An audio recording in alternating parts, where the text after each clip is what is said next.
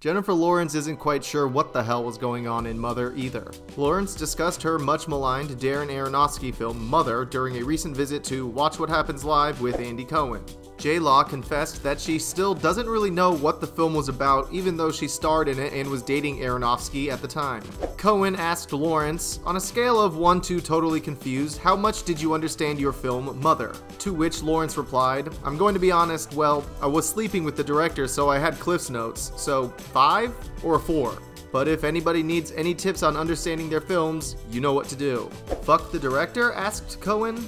Yeah, joked Lawrence. Mother bombed at the box office and was apparently a nightmare to shoot for Lawrence. During a recent appearance on Hot Ones, Lawrence said she still suffers from injuries sustained on set and that Aronofsky was a physically demanding director.